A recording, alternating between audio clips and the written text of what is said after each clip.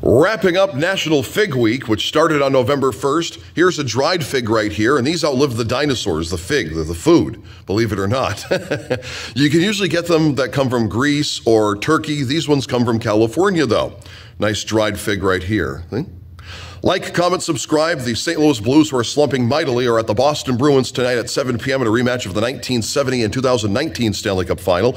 And the Cleveland Cavaliers, who are red hot, continue their West Coast swing at 10:30 p.m. at the Los Angeles Clippers. Like, comment, subscribe. Thanks, Coach.